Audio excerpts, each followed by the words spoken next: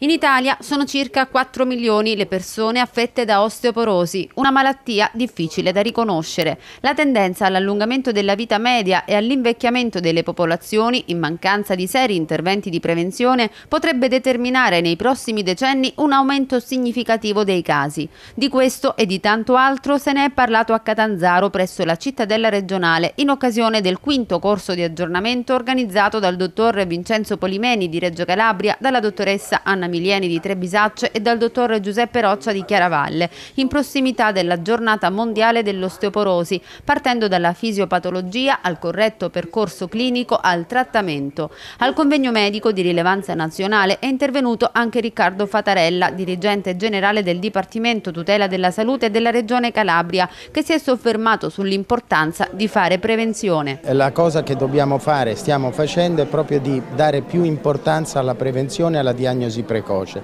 di tante malattie. L'osteoporosi è una di queste, colpisce non esclusivamente ma prevalentemente le donne e la Regione, forse non tutti lo sanno, ha costituito una decina di giorni fa un comitato per la medicina di genere composta da donne medico, donne dipendenti, eh, professioniste di altri settori perché la medicina di genere sarà la chiave di volta del rinnovamento del servizio sanitario regionale. Meno economia e più qualità di assistenza. Rossella Galati per la CNews 24.